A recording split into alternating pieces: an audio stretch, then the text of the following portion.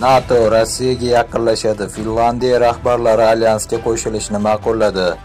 Finlandiya imkon qadar tezroq NATOga a'zo bo'lishi uchun ariza berishi kerak. Bu haqida respublika rahbari ma'muriyati tomonidan e'lon qilingan prezident Sauli Niinistyo va boshqa vazir Sanna Marinining qo'shma bayonotida aytiladi. NATOga a'zo bo'lish Finlandiya xavfsizligini mustahkamlaydi. NATO a'zosi sifatida Finlandiya butun mudofaa ittifoqini mustahkamlaydi. Finlandiya NATOga a'zo bo'lish uchun zudlik bilan ariza berish kerak. Umid qilamizki, bu qarorni qabul qilish uchun zarur bo'lgan milliy qadamlar kelgusi bir necha kun ichida qabul qilinadi, deyiladi bayonotda.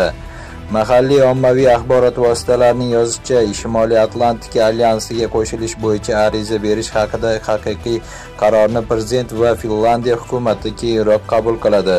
Bu masala yuzasidan parlament bilan maslahatlashuvlar ham o'tkaziladi. Eslatib o'tamiz, Finlandiya va Shvetsiya Rossiyaning Ukrainaga hujumi fondida uzoq muddatli betaraflikdan voz kechish va NATOga qo'shilish imkoniyatlari haqida gapira boshladi. NATO bosh kotibi Jens Stoltenbergning Alyans Finlandiya va Shvetsiyaning o'z safida ko'rishdan xursand bo'lishini va ularga tezroq qo'shilish imkoniyatini taqdim etishni ta'kidladi. Shuningdek, Finlandiyaning NATOga a'zo bo'lishi tashabbusi Yevropada keskinlashuvning jiddiy xavfini olib kelishi aytilgandi.